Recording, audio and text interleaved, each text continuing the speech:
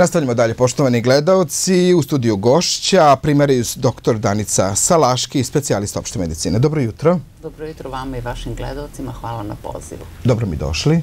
Hvala. Dolazite mi iz Belmedika. Dolazim iz bolnice Belmedika. Prenosim pozdrave svih zaposlenih i našeg menadžmenta i želimo da vam pomognemo vezano za e, meteorološke i temperaturne ovaj, pojave, odnosno za nadolazeći toplotni talas. Belmedik, e, opšta bolnica, poliklinika, dom zdravlja, 20-godišnje iskustvo. E, hvala lepo, pozdravljamo sve zaposlene. Pa evo, doktorka, recite mi, evo, danas 30, pre dve nedelje 40 ili već koliko je bilo stepeni, nećemo u to i da ulazimo, preživeli smo. E, kako da se ponašamo? E, klimatske promene su naša stvarnost. Prema tome moramo se prilagoditi uslovima meteoroloških i klimatskih promena, a to je e, adekvatno rashlađivanje prostora u kome boravimo, Naravno, preporučuje se da se rashlađivanje obavlja u noćnim satima kada su spolješnje temperature niže, da se ujutru oko 10 sati potpuno zatvore prozori, da se spuste roletne, građani koji imaju mogućnost rashlađivanja putem klima uređaja moraju voditi račun o tome kolika je temperaturna razlika između temperature u zatvorenom prostoru i spolješnje temperature. Preporučuje se da ne bude veća razlika između od 5 do 7 stepeni. Takođe, ako je veća, ako je veća, to takođe bar... izaziva ovaj stresni odgovor organizma kada izlazi iz rashlađenog prostora u takozvanu rernu spoljašnjeg Šta osjećamo? Nesvesticu, malakselost, šta se dešava u organizmu? Naravno, to su sve ovaj, odlike temperaturnog stresa na koji organizam reaguje zbog toplotnog talasa. Toplotni talas je temperatura preko 32 koja traje duže od 3 dana i koja ima sa sobom zajedno povećanu vlažnost vazduha i smanjeno strujenje vazduha. Organizam se fiziološki prilagođava takvim temperaturama, to se zove aklimatizacija, ali svakom organizmu je potrebno različito vreme. Ako osetite simptome kao što su pojačano znojenje, ali još teži simptom je smanjeno znojenje, znači da je već kolabirao termoregulacijni sistem, morate se javiti lekaru. Osnovni simptomi su... Da ćemo doći do lekara? Laka. Naravno da imamo i tu savet. Osnovni simptomi su e, pojačano znojenje, povišena telesna temperatura, nesvestice, nekada zamućen vid. Znači, taj temperaturni stres ima šest koraka. Prvi korak je osip, koji se dešava uglavnom kod male dece i starijih osoba zbog neadekvatne Znači, svi smo podložni, svi smo podložni i deca i stariji, svi. Svi, naravno, naročito srednjeg doba, zato što smo mi izloženi, imamo radnu aktivnost i mi smo obavezni da izlazimo u e, takav temperaturni haos. E, htela sam da objasnim samo korake. Osip koji prolazi posle raslađivanja, međutim da bi se koža regenerisala i počela ponovo da luči znoj, nekad je potrebno i par nedelja. Drugi simptom toplotnog stresa je otok ruku i nogu uglavnom koji se može javiti u toku fizičke aktivnosti i boravka na otvorenom ili sat ili dva posle. Ovaj, to su potrebno je samo da se odmorite i da se dovoljno napajate vodom. Zajednički činilac za sve korake temperaturnog stresa, znači sinkopa je sledeći korak, to je kratkotrajni gubitak svesti, slabiji puls, pad krvnog pritiska, Posle ove sinkope imamo toplotno istrpljenje organizma, gde već dolazi do smanjenog učenja znoja, povišene telesne temperature do 38 u takvom slučaju i u svim prethodnim slučajima potrebni koraci su da se ovaj, lice koje je u riziku ima već prve simptome, obavezno stavi u hlad, da počne da se napaja vodom ukoliko je pri svesti, da se raslađuje vodom ili vlažnim oblogama i da se pozove lekarska pomoć ukoliko je nastupio neko od neko stanje koje zahteva medicinsku. Doktorka, ako smo sami i ne daj Bože desi nam se ovakva stvar, osjećamo znači, nesvesticu i sve, e, da legnemo sa strane, da ne dođe do gušenja jezika ili već šta, mislim, šta, kako sami sebi da pomogu, da se rasklađujemo? Sami sebi ćemo pomoći tako što ćemo unositi po čašu vode svakih 20 minuta bez obzira na osjećaj žeđi. Znači, to nam predstavlja obavezu u ovako vremenskim uslovima. Ako kod prvih simptoma koji su neobični, treba pozvati prijatelja da neko bude sa vama, treba se rashlađivati, unositi tečnost i ako postanete konfuzni, e, potrebno je pozvati medicinsku pomoć svakako. I jako je bitno da u, ovo, u momentima ovakvih uslova vremenskih se okrećemo jedni drugima.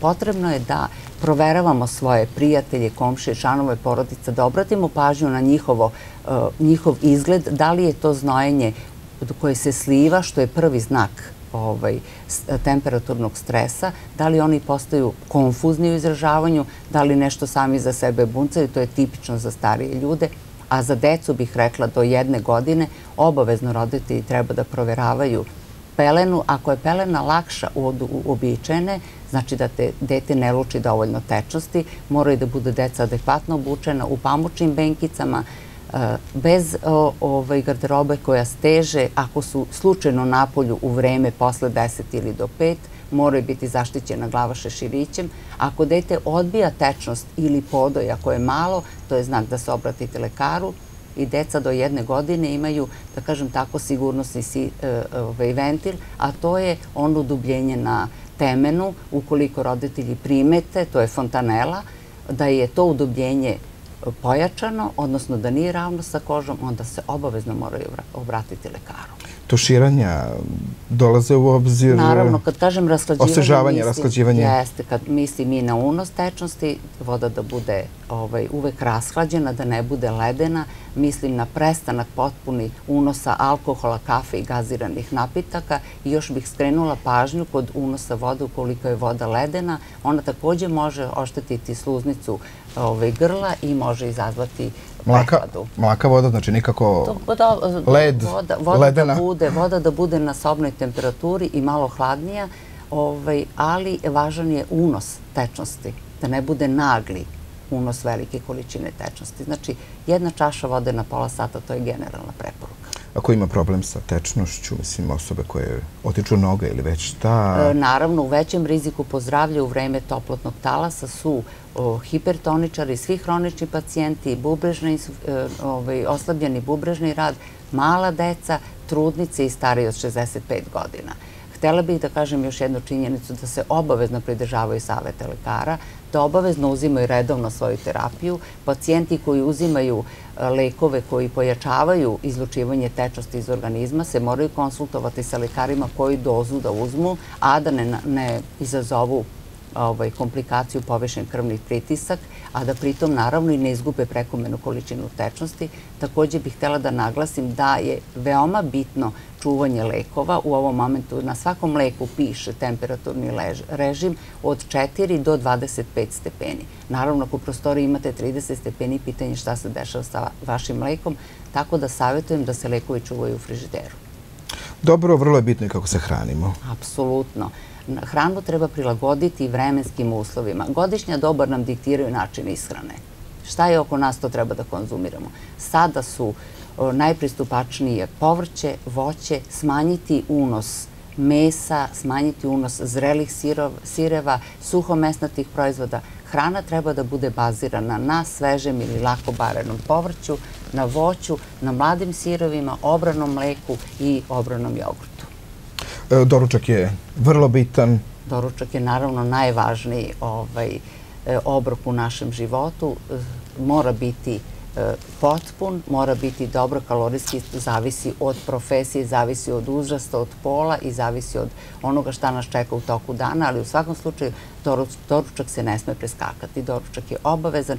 Preporučuje se pet obroka u ovim ovaj, u vremenskim uslovima, da bude doručak, da bude obavezna užina voće ili nevoćni sok ili gazirani napitak, može biti samo limunada, voda, rasklađeni i neslađeni čaj, ručak da bude sa obaveznom unosom čorbastih jela, barenog povrća, od mesa se preporučuje riba, pileće meso, eventualno ćuretina, znači snažna i jaka mesa i suhomesnatih proizvoda se uopšte ne preporučuju.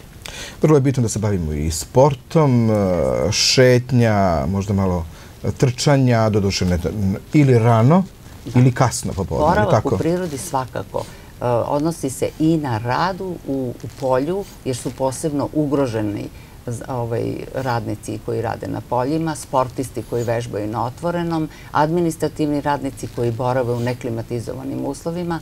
Znači, savjetuje se takozvana preraspodela radnog vremena od 4 ujutru do, do 9 i u popodnevnim satima posle 5. Znači, ne preporučuje se uopšte boravak u prirodi u vreme od 10 sati prepodne do 17 časova posle podne, ukoliko eto, ne možete da se ovaj, otrgnete želje da boravite u prirodi, birajte da budete u hladu, birajte da budete pored vode i naravno unosite svaki 20 minuta čašu vode, bez obzira na osjećaj žeđi. Da, sve ovo lepo što vi kažete, ali ima ljudi koji moraju da rade, baš u to vreme kada su većine građevinske radnici, ne znam, boravak što vi kažete u zatvorenim Naravno, to su sve radnici koji moraju da rade, ali se preporučuje poslodavcima baš zbog ovoga toplotnog stresa koji se može javiti kod svih zaposlenih, preraspodera radnog vremena, znači od ranih jutarnjih sati od 4 sata ujutru do 9 i naravno period aklimatizacije mora početi tako što se počinje sa trećinom radnog vremena, individualne aklimatizacije, znači prilagođavanje temperaturi, prelazi se na pola radnog vremena, pa na dve trećine, a smatra se da je osoba aklimatizovana ukoliko može bez ikakvih simptoma toplotnog stresa da podnese puno radno vreme, odnosno da boravi u takozvanim vanrednim toplotnim uslovima. Što je naravno apsolutno ovaj, moguće i organizam se tako prilagođava. Obavezno je unos tečnosti, obavezno je u takvim uslovima da obraćamo pažnju jedni na druge, da prepoznajemo prve simptome dehidratacije, znači ako primetite da neko se poja, da mu curi znoj niz kožu, da je smiren ili da ubrzano diše ili da vidite da se leluja pri hodu ili da mršti oči, znači da izoštrava vid, ovaj, možete posumnjati da se već u njegovom organizmu nedostaje tečnost, onda osobu takvu sklonite u hlad i generalne preporuke za sve ovaj, e, e, stupnjeve toplotnog stresa jesu da se osoba skloni u hlad, da legne, ako je pri svesti da počnete sa davanjem vode, rashlađene naravno, da stavljate hladne obloge i da rashlađujete vodom. Naravno da u svakom slučaju povećate strujenje vazduha i strujenje vazduha je jako veliki faktor koji utiče na isparavanje znoja. Doktorka, evidentno je kada dođemo e, kod doktora da od e, silnih administrativnih e, stvari i kompjutera nema vremena ni da nas čuje, a da nas pipne o tome da ne pričamo.